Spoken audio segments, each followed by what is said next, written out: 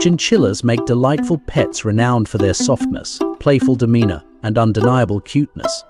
Their velvety fur, among the softest in the animal kingdom, invites endless cuddles and strokes, providing a sensory delight for owners. Playfulness defines their nature, as they enjoy exploring, hopping, and engaging in acrobatic antics within their habitats. Their curious disposition often leads to amusing interactions, captivating both young and old alike.